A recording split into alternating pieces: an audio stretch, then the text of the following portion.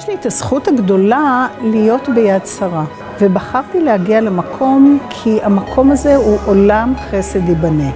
זה מקום שבעצם נותן אפילו בלי לבקש. אין דברים כאלה. זה מקום שמושיט יד לכל אדם באשר הוא אדם, בלי הבדל דת, מין וגזע.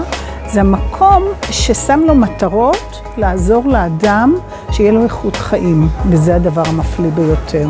המתנדבים הם מכל קשת החברה הישראלית, באמת מכל קשת החברה הישראלית. זה מדהים לראות, כי זה מדהים לראות את האנשים שנמצאים. כולם מתגייסים וכולם משפחה.